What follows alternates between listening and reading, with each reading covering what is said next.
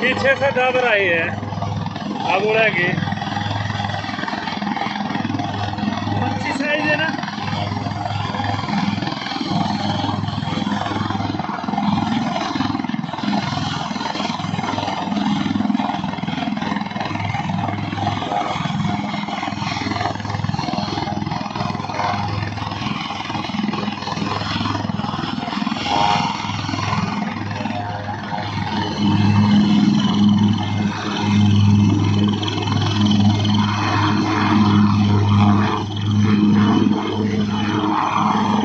Thank you.